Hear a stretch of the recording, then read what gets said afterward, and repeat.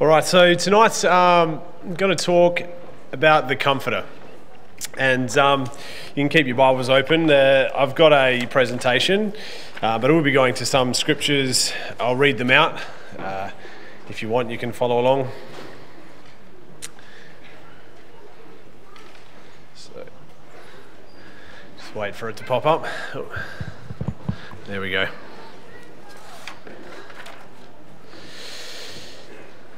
Uh, is that the last slide?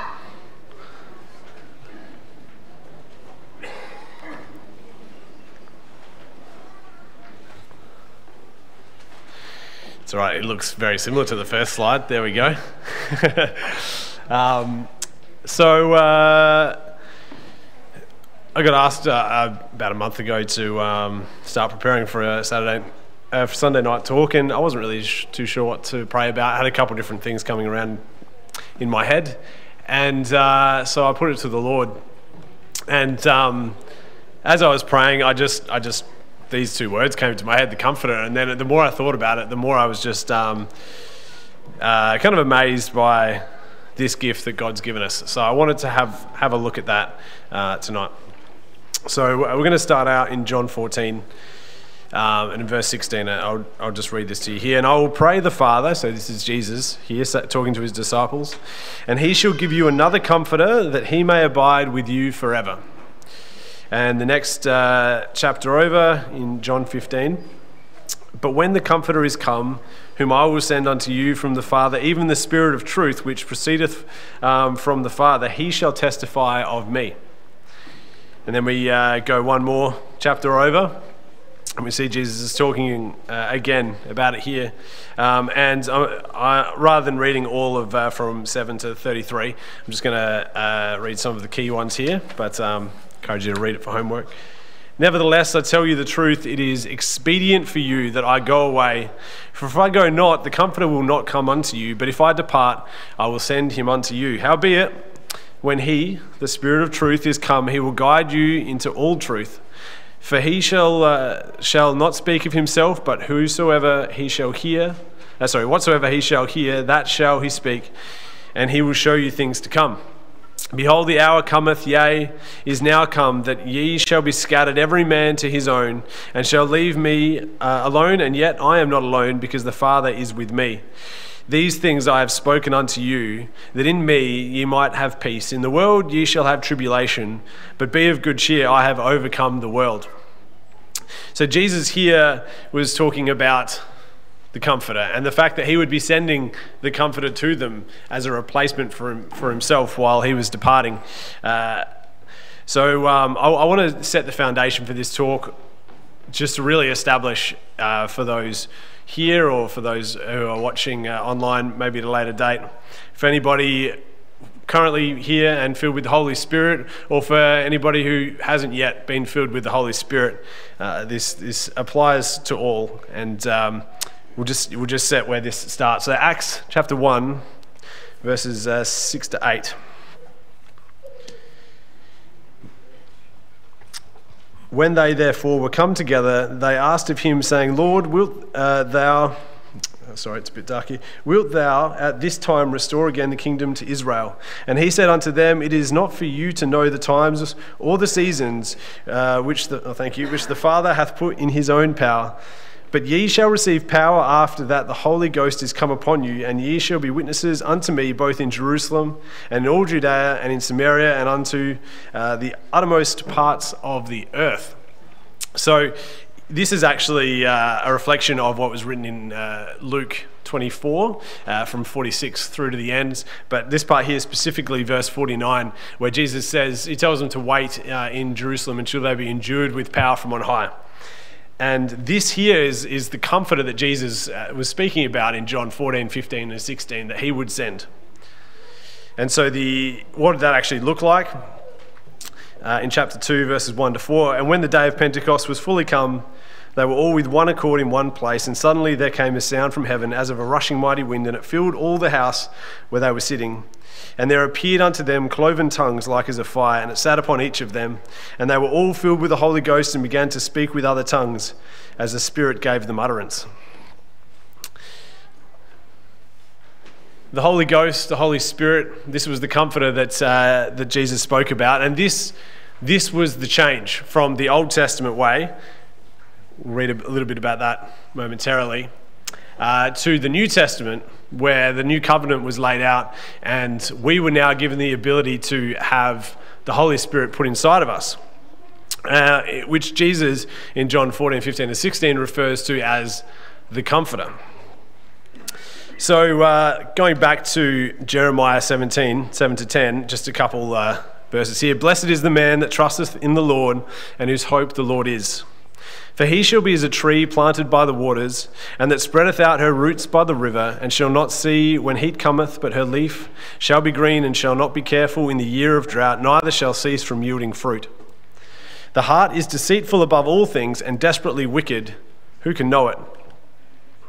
I, the Lord, search the heart, I try the reins, even to give every man according to his ways and according to the fruit of his doings. The Old Testament uh, and, and Jeremiah may have been part of this, but we particularly see this in uh, people like King David, where the Holy Spirit was momentarily given or given for a time and then taken back. Uh, they didn't have the privilege of what we now have, uh, which we just read in, in Acts, which has happened to the majority of us today, where we're filled with the Holy Spirit and, and we can experience all of the benefits that come along with the Holy Spirit. Um, but God's connection in the Old Testament was communal, it was group based, it was all of his children that he was focused on collectively, and he had a couple leaders that would lead the people. And then we see a real shift here to the New Testament where now it's individualized. And we see the need for that here in Jeremiah, where it says that uh, in, in, verse 10, um, well, in verse 9, that the heart is uh, deceitful above all things. And then in verse 10, that the Lord searches the heart and tries the reins, even to give every man according to his ways and according to the fruit of his doing. So we see a real difference in, in what was and now what is. And uh, this, is, this is going to set us up for the direction we're heading. So when we think about comfort, when we're comfortable, when we're at comfort, some of the things that might come to mind or the way we might be feeling is things like peace, joy, and love. These are, these are, generally, these are generally the feelings associated with comfort or being comforted. If we think about achieving comfort and achieving, and I don't mean uh, like just, you know, sitting down on the couch, that type of comfort, but achieving actual true peace, joy, love, and comfort in our life, comfort from tribulation that we might be having, comfort from, you know, loss, comfort from, you know, a healing or whatever's going on in our life, comfort from all sorts of things that this world can throw at us.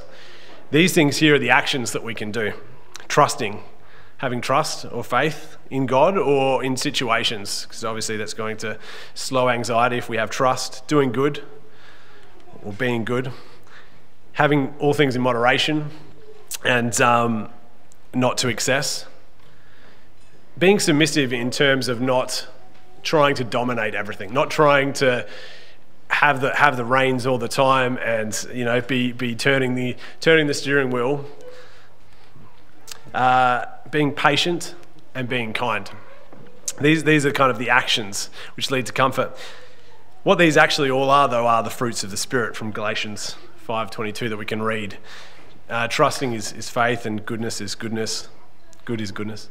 Moderation temperance uh, submissiveness is meekness. Patience is um, uh, long suffering, and uh, kindness. These are the fruits of the Spirit, which actually tie really strongly into what it is to have the Comforter inside of us. And in fact, we read in uh, Jeremiah there before that uh, in, in verse 10 that uh, the Lord searches the heart and according and and uh, even to give every man according to his ways and according to the fruit of his doing. And these are the fruits of our doing and, and how we can achieve comfort through the Holy Spirit in our life if we are if we're kind of actioning these things through faith and goodness and temperance and meekness. God laid them out in the fruits of the Spirit. I want to just uh, flash through a couple, uh, couple different testimonies here to, to give an example And I've got, for those uh, online, I've got a little QR code up the top on each page because all of these um, these testimonies are found online and they're linked to amazing stories, usually one page kind of PDFs, uh, one or two pages of uh, some incredible incredible stories of what God has done and how God has given these people comfort through all sorts of situations. So maybe you require comfort from it from one of these. Here, fear of death. Um, we see that uh, there was there was a real fear of death in, in these two guys here, um, Stuart and uh, I've had a mental blank now. Um, check the QR code. Um, that's why it's there. Uh, and in terms of loss, uh, so so we've got Ray and Raylene and um, Lynn Batty who lost their husband, Sean who lost his father, Judy who lost her son, and uh, the the we, we actually saw at the, the very last slide for those who were here at the very start that started it in uh, Philippians 4 verse 7 it talks about the peace that passes all understanding. And um, you know to experience I haven't experienced loss at such a personal level as as a close family member like this but uh, but after having two kids, I tell you, it makes you a bit more emotional about stuff. Like uh, there's there's you know movies that if something bad's happening to a kid, it gets you, you feel it, and you just you think, imagine if that happened to my son, and um, and I, I can't imagine that I could recover from that type of loss emotionally uh, or physically, but um, there's some great stories here of how God has been able to comfort them through um, through the use of the Holy Spirit. Now, Carol gave her testimony earlier today, and Carol could actually fit pretty much all of these categories. Um, but I had her here on peace from uh, the story that was particularly uh, online for, for Carol was uh, for uh, healing her from phobia. And, um, and we, we can also see uh, Jill and Lily here as well. Jill Trelaw and Lily, who uh, have some amazing testimonies of receiving peace and comfort uh, through some really difficult circumstances. From a last resort perspective, we've got Evelyn up the top there, who had a less than 1% chance of survival, and um, God pulled her through and gave her huge peace and comfort. Katie there, who had anxiety and depression and was completely healed. Um, Dan's boy there was one week old and he had a stroke and uh, you can only imagine how we heard testimony today of another young child who was in need, and um, the, that boy was completely raised up and healed. And the peace and comfort for the family was obviously quite amazing through through that situation. And Charlie, there he um, he had a stroke, and uh, it was instantly instantly healed. Um, and then uh, the last one here, um, Chad, now Pastor Chad, was, and same for McKay down there, who's up in Darwin, uh, had really like drug, alcohol, and party lifestyles. That's just how they lived. It's how they rolled. And um, but what they found was that the world had had nothing to offer, and this is the difference, particularly in these here where. Um, this, this is the difference between what the world calls comfort and what God calls comfort. And whilst they, they sought the world's comfort heavily, uh, what they found was that it was empty. There was, there was no true comfort to be found. It always ended in darkness, it ended in, it ended in a bad night, it ended in a whole bunch of different circumstances. And um, um, that's Trez there as well, who had an, a, uh, a healing from an addiction uh, as well, from alcoholism and uh, depression. Um, actually, I think drugs as well, so they all fit pretty into similar baskets. Um, even Pastor Chris, who was up here today, had uh, he, he, used to be into the party scene and the drugs, or more the hippie scene and the drugs. Um, and praise the Lord, he uh, he's a different man now. Um, but the peace and comfort that's come into these people's lives through through the Holy Spirit that God's given them is is quite incredible. And so I want to focus today on how we can achieve that and how we can how we can utilize the Holy Spirit inside of us to get to that to that point, to that level. So, um, obviously, a lot of or some of those things happened at the point of conversion. For instance, those with um, uh, the addictions, etc. But others were whilst they were walking along with God, they were, you know, fellowshipping, doing doing whatever, and uh, following God, and, and tribulation hits us. And it happens to us all. Just because we're filled with the Holy Spirit doesn't mean that uh, nothing bad will ever happen to us. That'd be nice. Uh, but it probably would also uh, make us not have to trust or put as much faith in God. So, one of the questions I had when I was reading this was why, why did Jesus choose the Comforter as the thing that he said he was going to give them? There was, there was other choices. Uh, if we think about the Holy Spirit, it could have been any number of these things. Um, he could have he could have said, "I'm going to send the healer to you. Anytime you need a healing, you can just pray, and you've got you know the healing healer inside of you." Or you know, uh, I'll send the grace, or I'll send the redemption, or or knowledge. You know, I'll just I'll send to you something so that you've got knowledge. But he chose the word comforter, and it kind of I, I, I was thinking about this for a little while, and I was like, why? Why could it be the comforter? And I don't know if I have exactly the right answer because, well, I'm not God. But uh, in my opinion, it's it's the thing that the world just couldn't offer, and it was the thing that that they needed. So if uh, remembering back to John 14, 16, and I will pray the Father, and He shall give you another comforter, that He may abide with you forever so he uses the word another comforter, and, and the reason he uses the word another is because uh, he's actually speaking about replacing himself. Um, and he tells them tribulation is going to come and you're going to need this comforter.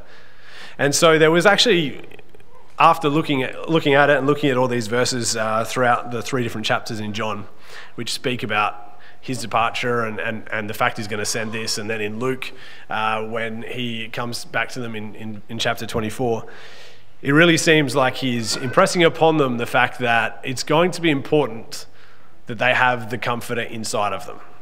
So this wasn't just an empty gift that we could use if we needed to use it. This was a gift that we would use or we would need to use to be able to survive being who we are, being Christians, being Christ like, following Jesus.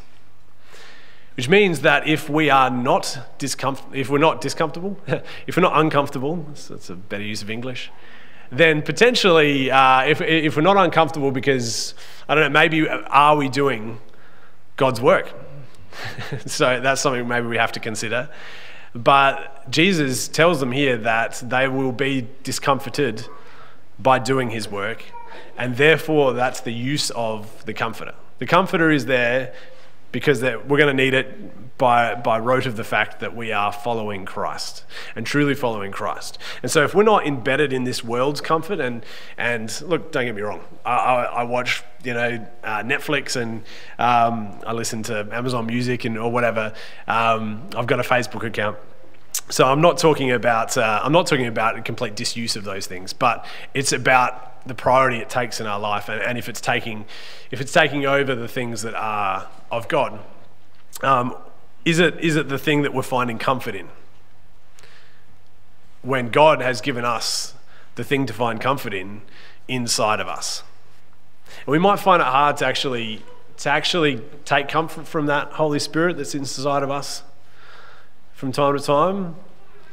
And I think that that's probably due to Romans 8, if, uh, where, we, where you can read, read, read, Romans 8 and read the whole book of James is, is quite amazing. But they speak about the, the warring of the flesh and the spirit. And, and so if one is up, the other one is down. And if one is down, the other one's up. It works reverse. And so if we're finding that we're needing comfort and where we start to look to the world for, for, for comfort, or the, the comfortable things around us rather than the Holy Spirit, it, what we might find is that it just actually starts to exasperate the issue. Whereas if we build, build ourselves up in the Spirit, then the Comforter is there and it's always there for us to lean on and, and actually do its job, to actually comfort us. And so this, is, this was the gift that God left us with. Jesus left us with, which yeah, is so different than anything the world can offer. It's uh, you can't get addicted to the Holy Spirit Comforter, um, uh, which you can with all of the worldly, the worldly comforters. Um, if you try to think, I was trying to think, okay, what's a positive thing in the world that you know does go? I could go on a holiday. That's pretty good. Uh, that would comfort me. Um, but then you know, money runs out, and you've got to go back to work, um, or you've got kids, so you can't relax anyway. Um, no, like the only comforter you can really get, which is just for you, sits inside of you, and it's the Holy Spirit. And that's, that's how God set it up. In John 16, um, verse 12, and, and I have yet many things to say unto you. I read this before, but ye cannot bear them now. Um, so this here is, is talking about how they had come. Um, he had, he had things to say to them, but they, they couldn't take it on board now because they didn't have the Holy Spirit this time. In verse 13, howbeit when he, the Spirit of truth, is come, he will guide you into all truth. For he shall not speak of himself, but whatsoever he shall hear, that shall he speak, and he will show you things to come. Scripture is really interesting because Jesus has said, I'm going to send you the Comforter. And then he said, But uh, just so you're aware, there's actually things I can't tell you now. What that means to us is there are things that Jesus couldn't say, and therefore they are not recorded in the Bible. So the only way to understand God's message, Jesus said, is to get the Comforter. So you need to have the Holy Spirit because it's the Holy Spirit that's going to add on the last little bit that Jesus couldn't say in words. It couldn't be expressed in words because the Comforter, the Holy Spirit, is to be experienced. And, as he said here, that the Spirit of, tr- of truth is the next uh, name that he calls this, he will guide you into all truth. A lot of churches today don't believe that you need the Holy Spirit. They don't believe that you need to speak in tongues. That flies completely in the face of this scripture where Jesus has said, I can't tell you everything. Get the Holy Spirit, it'll tell you the rest. Pretty straightforward.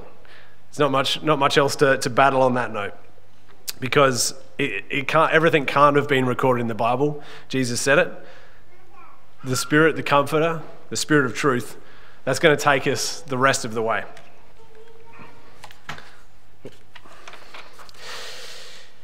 So, there are two separate kind of messages to take out of this. One is uh, for those of us who are filled with the Holy Spirit, and the other is for those who are not.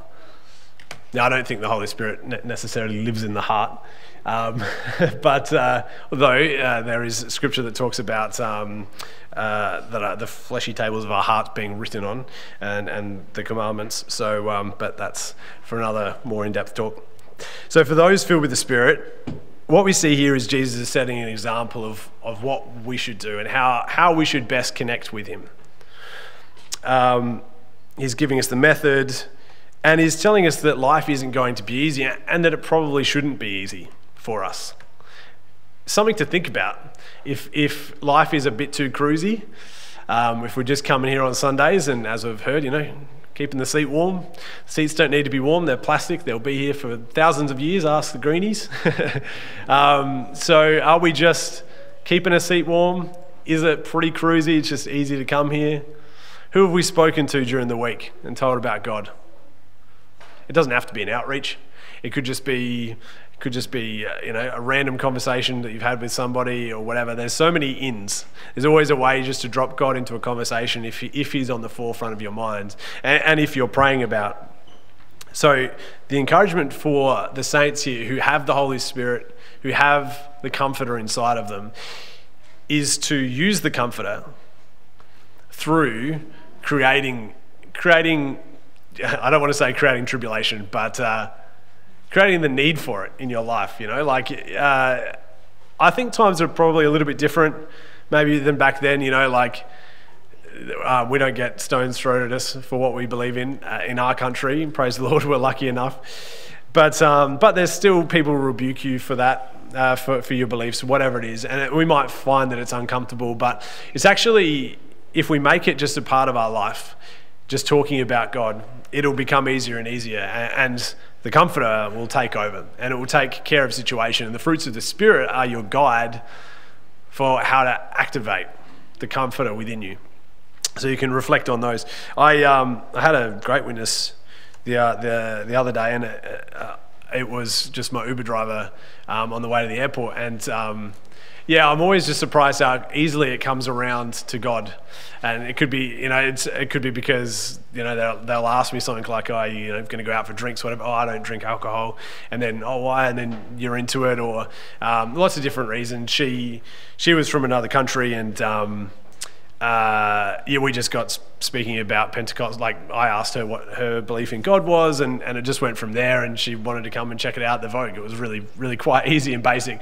And I, I said this actually down at Youngies camp. The fact that um, it's actually you can be sitting there and you can be nervous, and you can be thinking, um, should I speak? But actually, we should be thinking, uh, should I not speak? Like, you know, like it should be the, it should be the opposite way around. Like, why shouldn't I be speaking now? So we have to really flip that. The the other side, the other the other character up here, um, still with a heart, just not with the Holy Spirit in it yet. Um, is for those who don't have the Holy Spirit in their life, and for those who are looking for a comforter in their life. There's, uh, there's, a, there's a fair bit going on in the world at the moment, if you've noticed. Um, there's a little bit going on in Australia in terms of flooding, and uh, uh, you know, coronavirus is still doing its thing, and, and all of the other the other local stuff. There's obviously some bigger stuff going on over in Ukraine and um, with the Russians, etc. There's a lot in this world to be pretty discomforted about, to be pretty uncomfortable about, and uh, you might be trying to figure out, you know, the best way forward. The great thing about all of this is that we're not saying that we have the answer. We're saying that God has the answer and we're not saying that we are going to have to give you anything. We're saying you can check it out for yourself. You can come here, we can explain how it all works. It's pretty straightforward. It's actually just all in the scriptures I've already read. They had prayer, they asked God if it was true, and they were filled with the Holy Spirit. They were filled with the Comforter. And from that moment on, once you're filled with the Comforter, once you're filled with the Holy Spirit, that peace that joy, that love will come inside of you, and the fears of this world. Um, those those two people at the start, those two brothers at the start, both had a fear of dying and, and death and the end. Actually, I think Carol mentioned that in her testimony as well. Uh, a fear of the last days. I think my mum, you had a, had a fear of the last days as well. And uh, once the Holy Spirit came in, the fear went out. And so um, come, know, know the Holy Spirit and, uh, and have that fear removed be comforted by a comforter that doesn't, doesn't leave. This uh, last verse here, just to finish, in uh, Philippians 4, verse 7 And the peace of God, which passeth all understanding, shall keep your hearts and minds through Christ. Often we can kind of, in our own terms, go, I can't be comforted from this situation. It could be guilt from stuff that you've done. I can guarantee nothing you, you did was worse than what King David did or um, what Paul did. I'm pretty confident. Uh, well, I can't say, but you hopefully haven't killed anyone uh, um, uh, or committed adultery and, and killed their husband. Like, there's some really big examples of bad things that happened in the Bible, and yet God's grace was enough. We can't understand how comfort works, we can't understand how God can change our hearts. But we don't have to. God's laid it all out there. So we just ask that you come and check it out and receive that comforter for yourself. All the people said, Praise the Lord. So, uh,